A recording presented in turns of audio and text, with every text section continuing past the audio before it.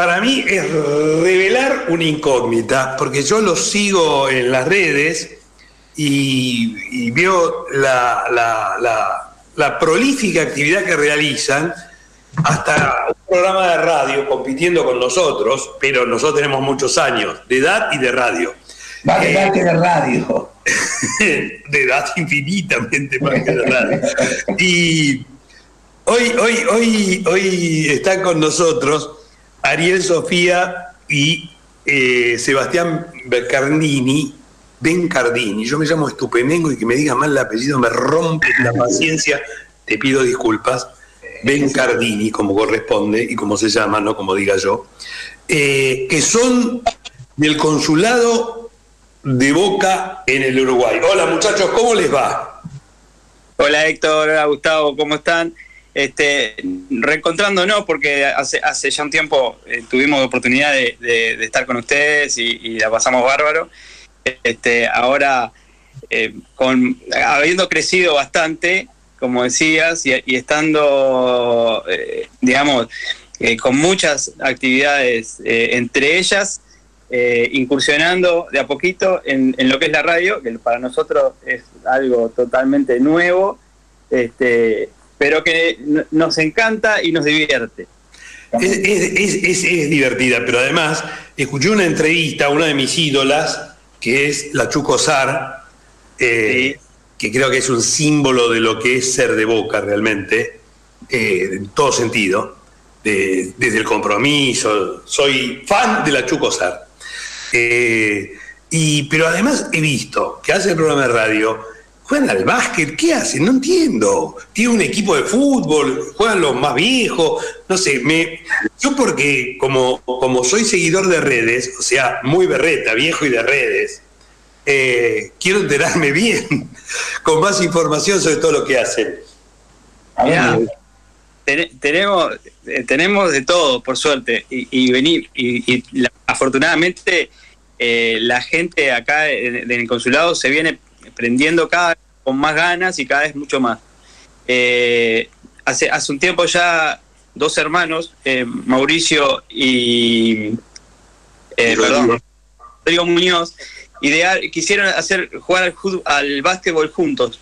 Nunca, nunca lo habían podido hacer y bueno, les dio el motivo Boca para armar un, equipo y hoy por hoy ya arrancaron el semestre pasado y ahora están nuevamente en, una liga amateur acá en Uruguay. Este, y, ahora de dos equipos de básquetbol, uno que es más 18 y otro que es más 35.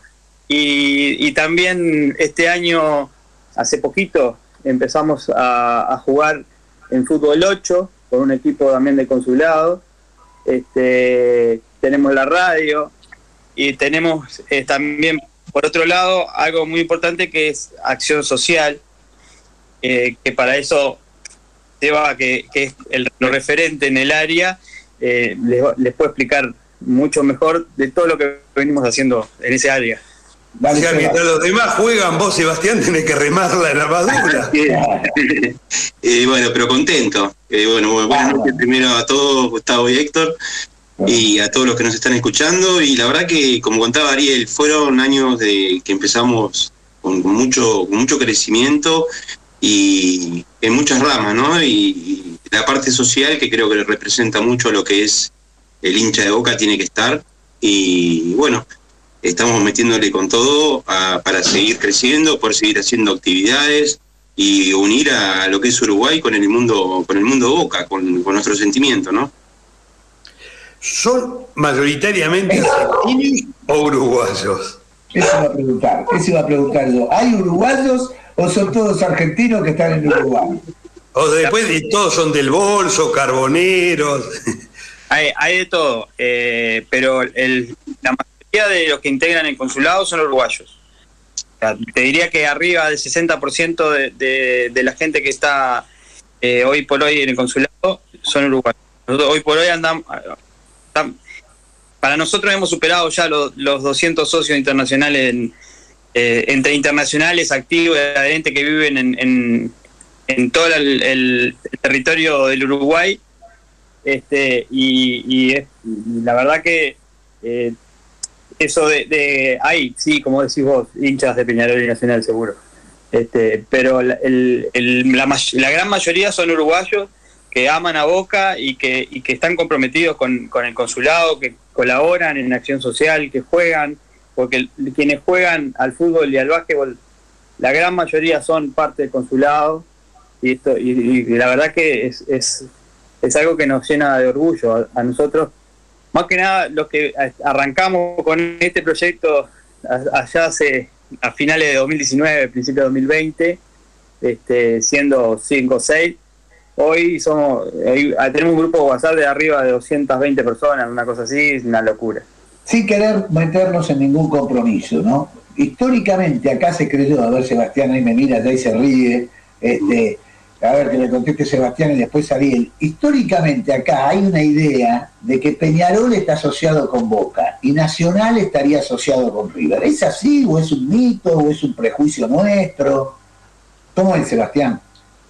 Está, está un poco relacionado, pero nosotros que lo vivimos, eh, creo que Boca no se compara, no se puede comparar no, con claro, no asociado, de, no. Eh, pero, pero bueno, sí, ahí está un mito de, de me van a matar los que son hinchas de Nacional, pero el, el mito está. Igual, eh, si vamos a la historia, eh, Boca y Nacional tienen mucha historia de, desde su comienzo eh, de amistad, ¿no? Sí. pero bueno, yo creo que pasa más por lo que fue el partido con, contra, contra nuestros hijos, históricamente, y cuando Peñarol le ponen, le va, le deja el mote de, de, de gallina, ¿no? que, que, los propios hinchas de River pusieron carteles que decía se vende esta cancha por falta de huevos, no fuimos nosotros, hay que aclarar. Y que rompían los carnets, no los rompimos nosotros, fueron ellos. ¿no? Digo, hay que recordar algunos hechos históricos de River. Ese es uno, y quemar el estadio cuando descendieron esa mancha que es indeleble, no lo quemamos nosotros los hinchas de Boca en estadio, lo quemaron ellos, ¿no? Hay que recordar esas cosas ahora que se viene el partido. Vos calculá que yo me acuerdo de Peñarol cuando jugábamos los partidos a muerte, a muerte la piñas sí. en la Copa Libertadores. Me acuerdo, me acuerdo del Peñarol, haberlo visto además, el Peñarol del Pepe Sacía y de Rocha, así que de la década del 60. Era otro mundo el Peñarol ese, que además era un equipo eh, inmensamente comp competitivo en, en, en, en, América, ¿no? Joya Spencer, ¿no? Jugadores eh, Así es. Claro. Ahora, eh, sé que estuvieron por, por el Templo de la Bombonera, porque como veo también la red de la agrupación y me entero, nos enteramos que somos de la misma agrupación que, que Martín Montero y que el Chelo Núñez, que son nuestros hombres internacionales, nosotros somos cabotaje y gracias. Eh, eh, algunas alguna, algunas cuestiones que tienen que ver con, con ustedes y Boca. Eh, ¿Quién los hizo hinchas de Boca? La vida. Ah, oh, bueno, viste bien, ¿eh? Eso es radiofónicamente valioso, pero voy a decirme la verdad, además. Pero, en mi caso, eh, a ver, yo, yo soy argentino, vivo acá en Uruguay desde que tengo dos años. Ah, sos uruguayo directamente. Soy más uruguayo que argentino. Pero eh, tenía la particularidad, la fortuna de, de poder ir de vacación a Argentina bastante seguido y, y, tenía una tía, la única en la familia, hincha de boca, que nos inculcó a los, a los más chicos este, el amor por boca. Amor por boca, el amor por el Diego y, y, y eso te, se te va metiendo en el cuerpo hasta que ya no hay vuelta atrás y esto es para toda la vida. ¿Y en tu caso, Sebastián? No, en mi caso, bueno, eh, por herencia familiar, eh, no, hay, no hay otra opción que ser de Boca, así que no, no, no cae en la cabeza eh, otro club. Y no, el amor ya es... El otro día tuve la suerte, como decían, de poder estar en, en, en la bombonera.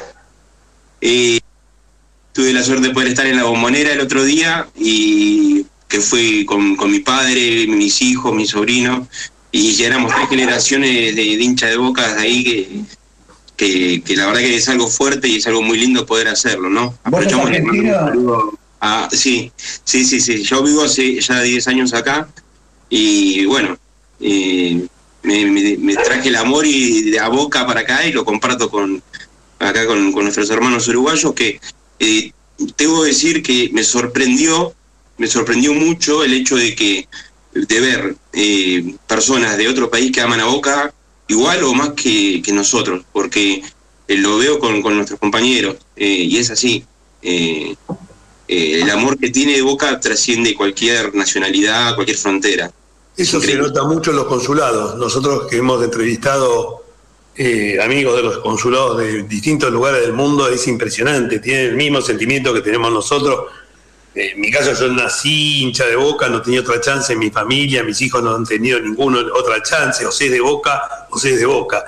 Eh, pero yo no he notado grandes diferencias con, qué sé yo, con mi amor a boca de 70 años en, en los consulados de cualquier lugar del mundo, con miles de anécdotas hermosísimas contadas por ellos que realmente eh, son, son eh, tan hinchas de boca como cualquiera de nosotros. ¿no? Digo, esto eh, no hay diferencia alguna. Inclusive gente de lugares que nos sorprende total y absolutamente y que siente a boca igual que nosotros. No, no hay competencia sobre quién más y quién menos. Ahora, con los, con, con los equipos uruguayos no hay problema. ¿Y con, ¿Y con la pertenencia a las murgas tienen problemas o no? Yo soy fanático del carnaval uruguayo, quiero aclarar. No, a ver, ¿qué pasa? Eh, el consulado, como te decía, arrancó en 2020, o sea, en plena pandemia, digamos. Y, no hemos tenido todavía, eh, digamos, o sea, suspendieron los carnavales de, los últimos, el último año no, pero el, anterior se había suspendido. Este año no. Este, pero no, no hay una afinidad por ninguna murga en particular. Tenemos, le mandamos un saludo a, Carlos, eh, parte integrante de la, de la comisión, que tiene eh, una comparsa que saca, que saca eh, carnaval. Todo el año ensayando, le mandamos un este, igual, al igual de la comisión este, y a todos los integrantes también, me doy el gusto de mandarle un saludo también a, a, los chicos de la radio, a, Cristian, a, Nico y a, Seba que están ahí escuchándolos. Murgas y llamadas. No, no, eh, yo quiero aclarar que yo tengo cinco, cinco murgas que me gustan y soy fanático de una sola, que es Agarrate Catalina obviamente. Soy no solo de la Catalina, sino que soy de Tabaré Cardoso, fanático.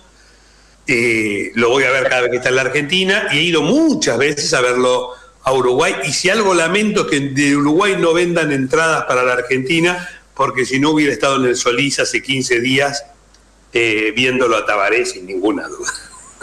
Bueno, pero en esos casos nos avisás y te la Claro, eso es lo que no entiendo de Uruguay. ¿Cómo no puedo comprar? Puedo comprar entrada para un recital en Sudáfrica y no puedo comprar desde Buenos Aires, no puedo comprar entradas para Montevideo. Nunca lo entendí. Se lo pregunté al mismo Tabaré y a Yamandú y me dijeron, y es así. así. ¿Vos? ¿Qué querés vos? ¿Vos? ¿Qué querés? es como es. Vamos arriba, vamos arriba. Todos vamos arriba y estaba contento. Ahora, hay una pregunta que no se salva a ningún eh, entrevistado que es, armemos, o armen, nosotros tenemos el nuestro como cualquiera, armen un podio de los tres jugadores de Boca máximos para ustedes. O sea, el podio de los tres máximos ídolos de Boca para cada uno de ustedes. Creo que hay un indiscutido, ¿no, Ari? Eh, o sea, hay dos indiscutidos.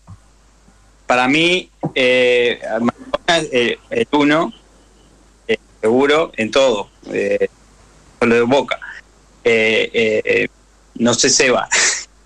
Bueno, de mi parte, el uno, Román, me parece que en lo que es la historia de Boca, Román fue, es nuestro máximo ídolo. Y bueno, después, después el Diego, sin duda, sin duda por todo lo que causó y generó y todo lo que hizo, eh, que ya es mundialmente conocido.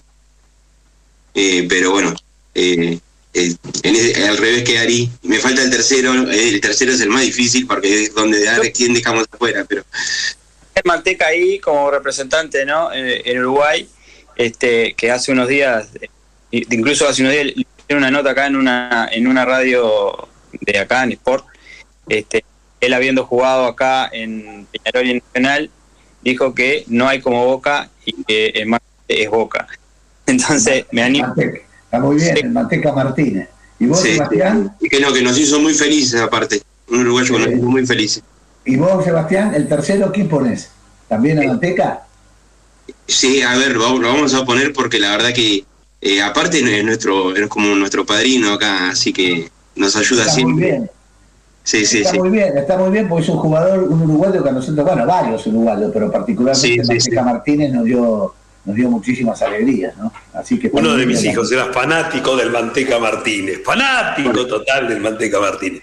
El maestro eh, Tavares, otro, grande que estuvo. Total, sí, totalmente. No, pero hubo muchísimos uruguayos. Hay uno que ustedes por edad no, no, por ahí no lo conocen, pero había un 5 que era muy bueno, que era Krasowski. Y hay un, había uno, Silveira, Silveira, que tampoco se acuerdan ellos. Uh, Silveira. Tuvimos la suerte de conocerlo a Ariel, Ariel Krasowski, lo le mandamos un saludo enorme, eh, que siempre también está ayudando junto al Manteca. Eh, la verdad que, también... bueno, la, la, gloria que, podemos conocer a través de, esto es, es impresionante. Y muy contento de poder hacerlo, ¿no? Sí, lo vi con el Tata González también, ¿no? Así es. Estuvimos con una, una, hicimos una pequeña nota en la radio al, al, al Tata ahí que se le agradecemos de unos minutos que estuvimos en vivo, aparte fue como una cosa y bueno, este, y, con Chuco Sar, que, como vos mencionabas anteriormente, que la verdad que fue increíble tenerla porque es, bueno, yo también soy, eh, me, me, causa mucha idolatría ella, aparte la forma de ser, eh, que no tiene pelos en la lengua, y que ella dice lo que piensa y, creo que es un, representa eh, bien bien a lo que uno, uno siente como, como dice, ¿no? Totalmente. Además hay otro Uruguay, en el 2015, hoy que hablábamos de los partidos que dirigió Darío Herrera, uno de esos partidos fue justamente un eh, Boca 1, River 0 en el Mudo Mental, eh, que el gol fue de Lodeiro. Sí, cierto. También Lodeiro. Otro, otro uruguayo, que jugó muy bien en Boca además. Eh, muy bien.